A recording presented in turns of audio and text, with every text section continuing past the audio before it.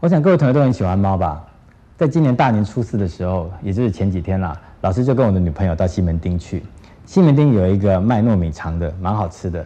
老师就跟我女朋友坐在那边吃糯米肠，就这突然听到一阵猫声，的咪咪咪咪，有一只猫叫的好凄凉哦。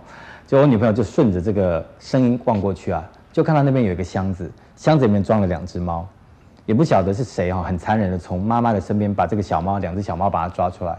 我们在想，可能是小孩子在玩嘛，就把它抓出来之后就丢在这个箱子里面，就在路边。这两只猫，一个是黑色斑点的猫，一个是黑色条纹的猫。那只黑色斑点的猫就躺在那边，就是奄奄一息的这样子。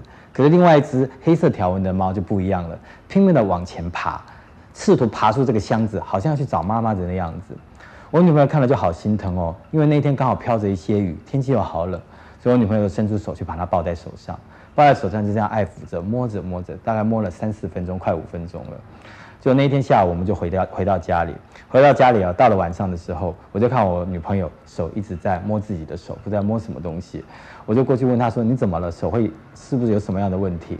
我女朋友跟我说：“没有，她在讲下午的那一只猫，她觉得好心疼哦。今天晚上不知道她会不会活过今天晚上。”说着说着，眼泪就掉下来了。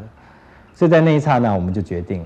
一起去把那只猫把它带回来，所以我们就走了。我还记得那天晚上，我们两个人就一起走，从家里一直走到西门町去。我想我这一辈子大概都会记得那个晚上。一到了那个地方，果然那只猫还在原地。我女朋友好高兴，我就把它抱在手上，给它衣服穿。所以这只猫把它抱在手上了之后，我想请教一下各位同学，如果是你们的话，你会不会跟我女朋友一样，去选择那一只生命力比较强的那只猫，还是会选择躺在那边奄奄一息的猫？我想答案大概是肯定的吧。没有任何一个人会去选择一个躺在地上不动的那个的生物，我们都会去选择那一个真正的拼命的挣扎的，试图寻求生命出路的猫，对不对？